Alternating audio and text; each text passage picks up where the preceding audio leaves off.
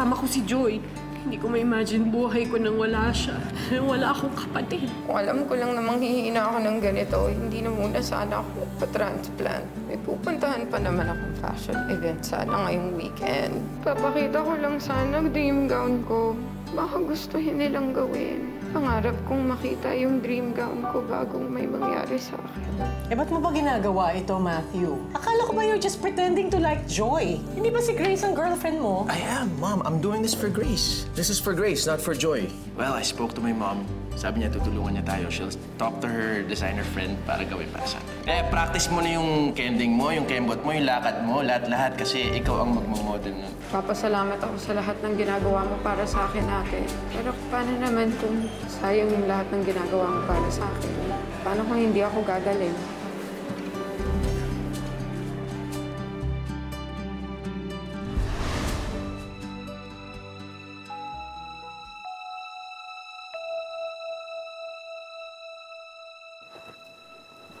Mr. Trustworthy mo.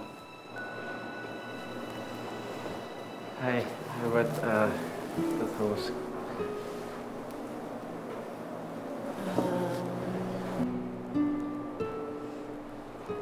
Sa labas muna tayo.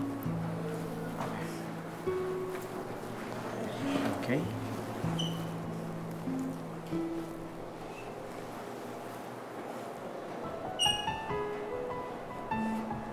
May gusto ka na?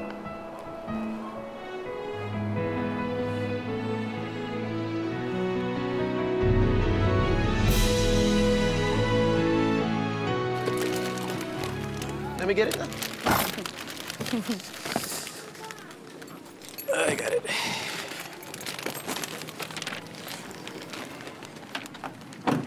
Tatabi ko tong para kay Joy para pag good mood na siya, baka hanapin niya kasi.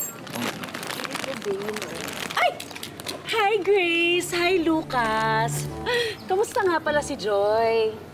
Oo na, sige na. Kukunin ko na yung tosinong pantapal dyan sa bunganga mo. Ang sosyal mo, ha? Organic pa yung suhol ko sa'yo. Ay, oo naman. Of course, iniisip ko na yung health ko ngayon.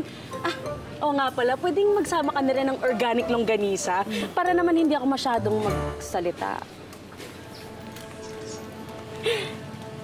Have a nice day. Yeah. So, dito yung lights here. And of course, yung dressing room, backstage yun dito. Dapat marami kasi mahirap na yung siksikan. Siyempre. um, of course, yung audience nandito sa side. Um, ano pa ba? That looks good already. Kaya naman, ang effort naman nito. Ikaw pa naman magkaroon dalawang girlfriend eh. Hey, watch it. So, ano, kaya nyo? Kasi kung hindi, aanan pa ko ng iba. Parang Uy. sa akin. Ano ba? We can do it. Ano mo, preparation na rin to kasi magkakaroon kami ng sariling events company. Perfect. Kaya Kuya Matt, dapat more girlfriends pa, ha? More girlfriends pa para more events, di ba? More fun. More, more events. Bro, sa ba setting? Di ba sabi mo, bawal lumabas si Joy sa hospital? Yeah, ah, actually naisip ko na rin yan eh. Wish me luck.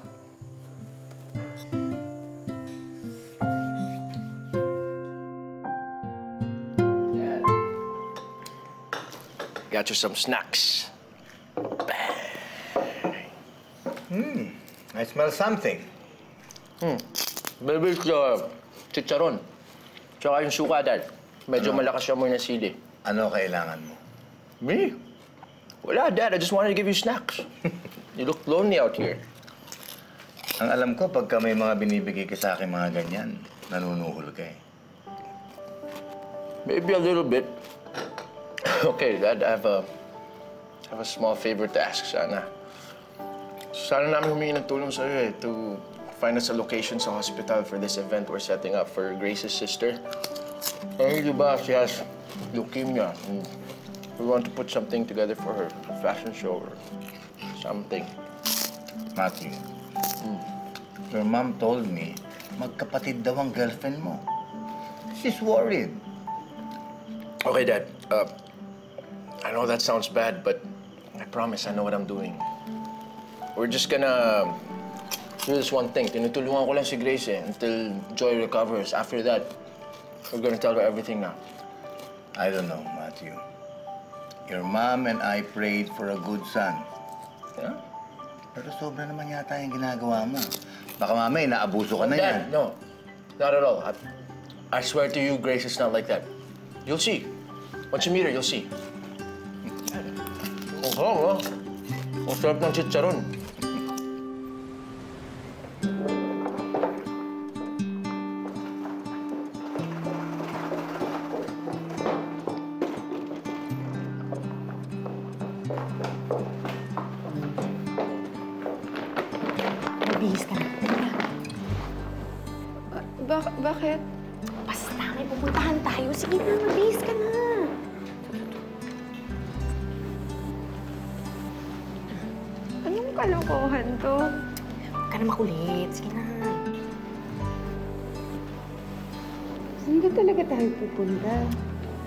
secret nga.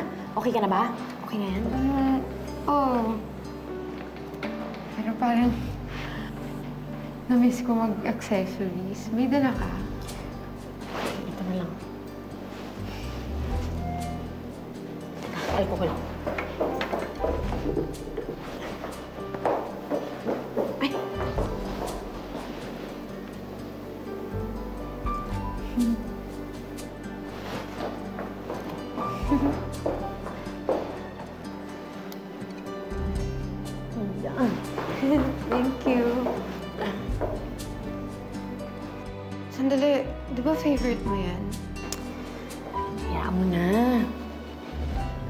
sa'yo lahat ibibigay ko.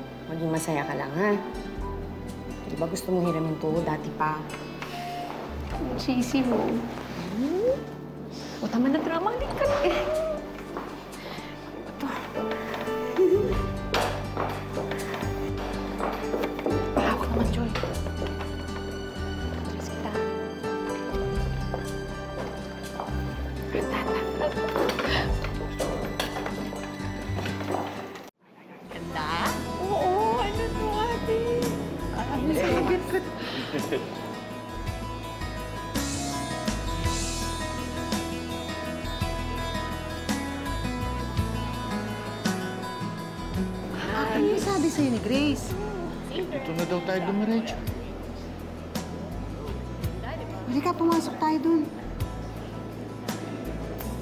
Photo na. Oo.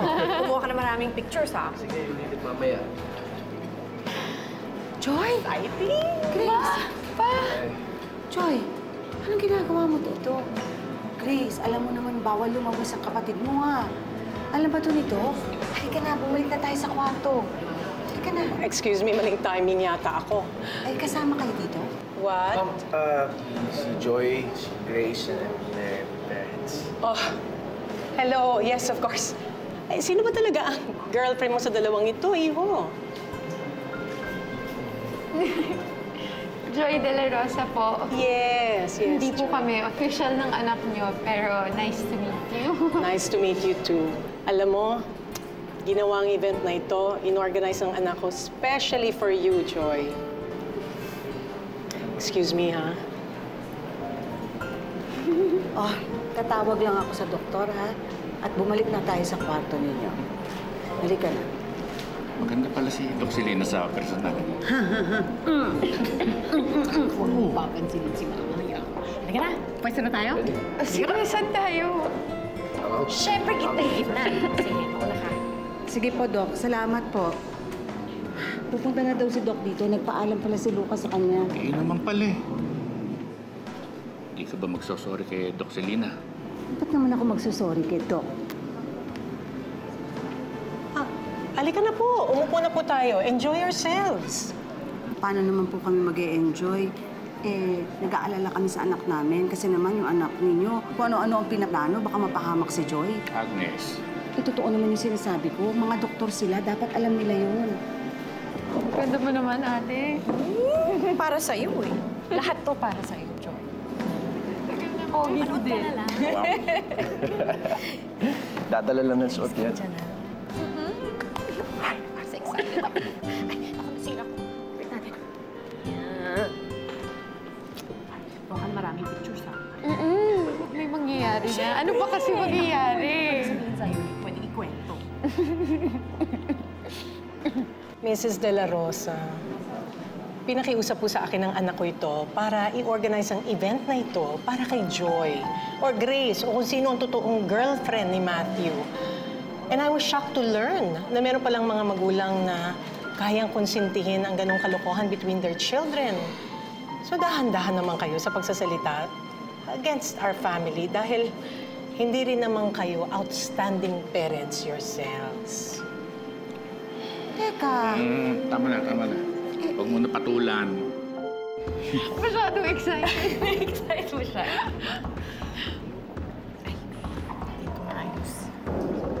Oh my God! Oh my God! Oh my God! Oh my God! ano nangyari sa'yo? Oh my God, ang ganda-ganda niya. Joy, ano ka ba? Stalker lang ang peg. Ano ka ba? Hindi mo ba siya kilala? Sino? Chantal de Assis. Protege siya ni Rahul Laurel. Ang sexy niya sa personal, oh. Ang perfect-perfect niya. You want to meet her? I can introduce you. Friend sila ni Mom. Ha? Ngayon na. What? Okay. Ay, Yeah? no. no, no. Ayoko. Nakakahiya. Ay, Ano? Hayaan ko na lang husgahan niya tayo? Para kay Joy. Kahit ano pa isabihin ng ibang tao, ang mahalaga, alam natin ang totoo. Ginawa natin ang lahat para kay Joy. Para gumaling siya. Para maging masaya siya.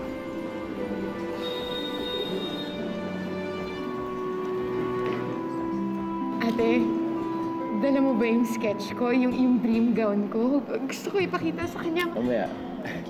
Yeah? Dala mo? Mamaya, kanina. Lucas, Hmm. sorry talaga nung sinungitan kita. Wala. Siguro, na-miss mo si Joy na joyful talaga. Nakipag-conspire ka pa kay ate. Naku, love na love niyo ako, no? But it's nice to see you smiling. Selfie tayo! Dali ako, ah. Mm, ano ba? Kasali ka talaga.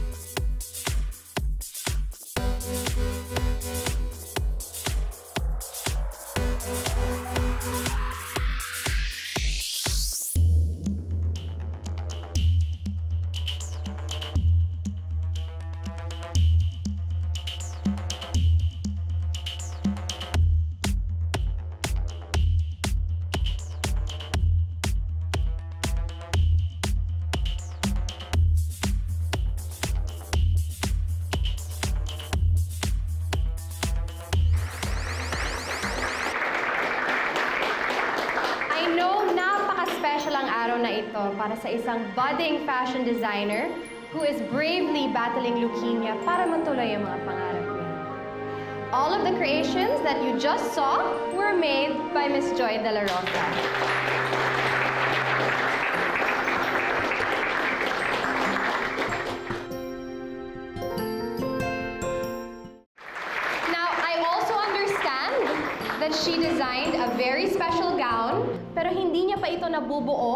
Because she is undergoing treatment.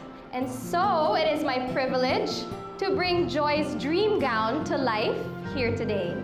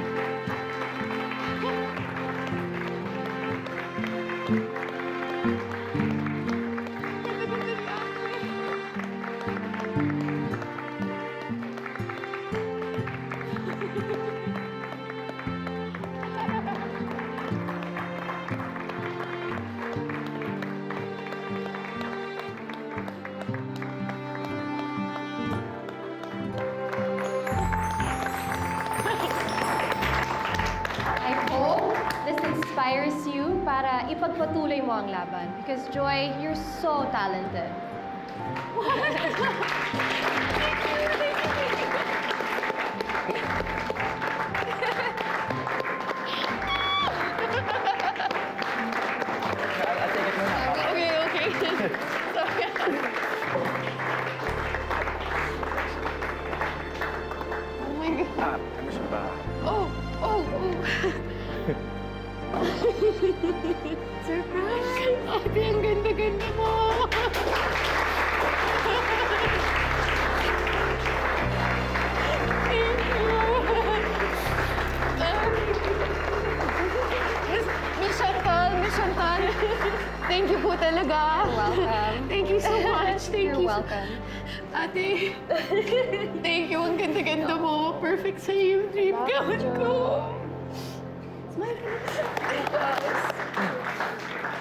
Lucas, alam ko hindi ito mangyayari kundi dahil sa'yo. Ikaw. Ikaw, decides mo lahat yan, Joy. Thank you. Congratulations. Pinasaya mo talaga ako. Thank you so much. I'm so happy. Lucas, I love you.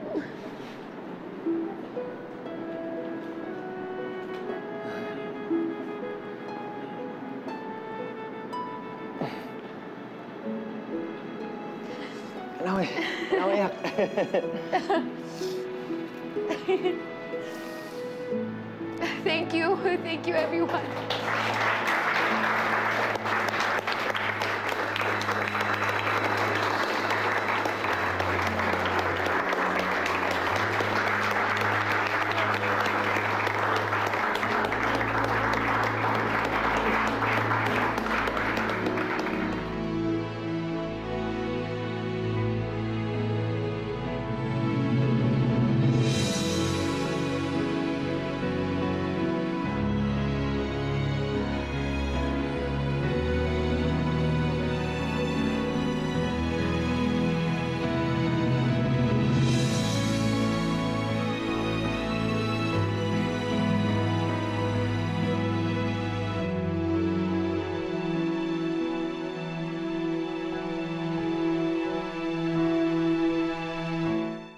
Thank you po talaga, ma'am. You're very welcome, Miss Perlas ng Silangan. so talented. You just keep designing, huh? Okay. You're still very beautiful, Joy. Thank you po. Thank you so much. Salamat. Maraming maraming salamat. Okay. Tarap! Ay, maklase ka talaga umalig. Walang katulad dito. Grace! Grace! Grace! Halika na. Yung kapatid mo. Dali na natin sa kwarto.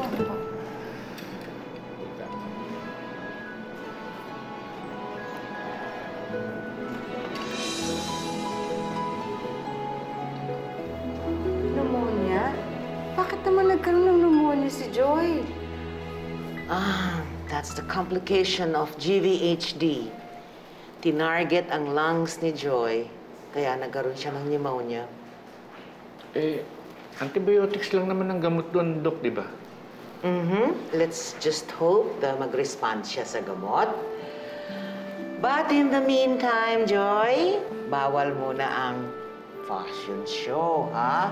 May manonood ng fashion show. But there's one thing that I really like. The smiling eyes are back. huh? Okay, I'll see you. Thank you po.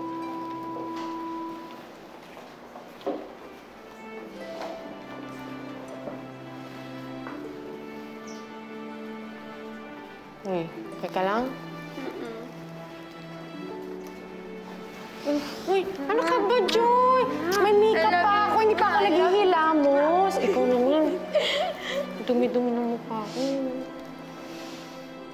mo, ate, ang swerte-swerte ko talaga. Kung last day ko na ngayon sa mundo, magpapasalamat ako. Dahil ang perfect pala ng naging buhay ko. Last day sa mundo ka dyan. Tumigil ka nga. Last day sa mundo. Totoo naman eh. Si mama at papa, perfect nila mag-alaga. Tapos ikaw, ikaw ang pinaka-perfect na model na ate sa buong mundo.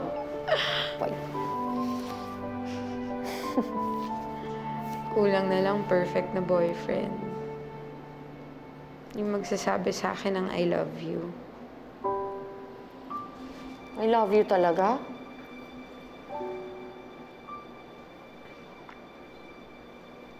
Ate, may... May nababanggit ba tungkol sa akin si Lucas? Ginagawa niya ba to dahil mahal niya ako? O dahil naaawa siya sa akin? Ayoko ng awa. Gusto ko yung totoo lang.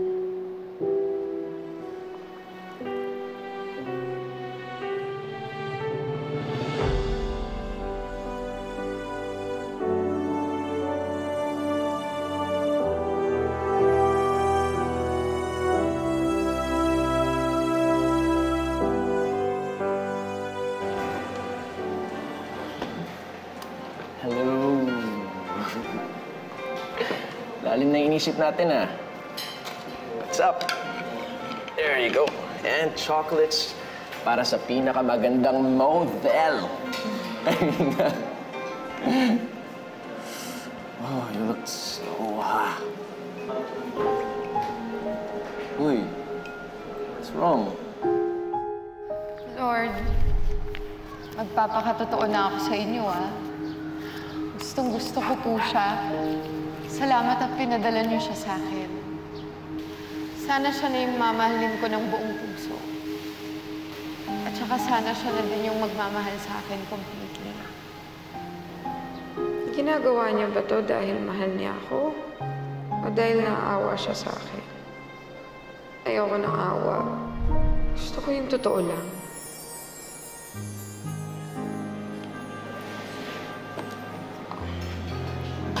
Matthew, kapag sinabihan ka ni Joy ng I love you, okay lang bang mag-I love you ka rin sa kanya? What?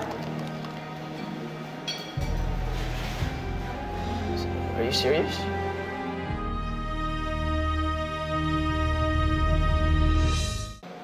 Hindi ko alam. Umiiyak kasi siya eh. Gusto Eh, mo... sabi niya, baka daw naaawa ka lang sa kanya. Gusto mo sabihin ko sa kapatid mo na mahal ko siya, ganun?